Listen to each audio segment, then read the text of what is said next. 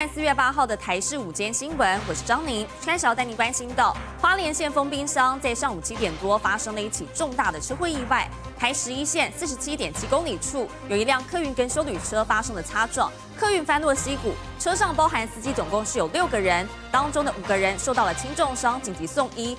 另外呢，还有一名乘客的伤势太过严重，宣告不治。而根据了解，修理车驾驶疑似为了要转进露营区，跨越了双黄线，造成客运司机闪避不及，才会酿成这一起悲剧。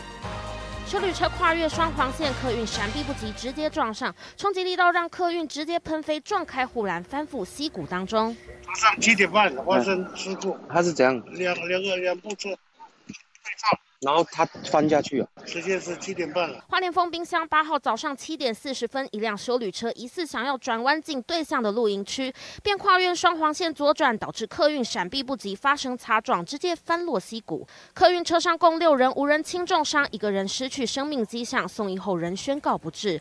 修旅车上的两人驾驶没受伤，乘客则受到轻伤。同学，你们几个人来往？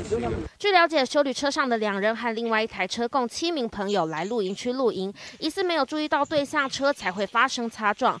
客运车门扭曲变形，车窗破裂，导致搜救难度增加，乘客一度受困车内。前往的时候，有两名自动从那个后车厢，然后司机是卡在司机座，我们用那个绳索把它拉上来。另外一个是掉在那个。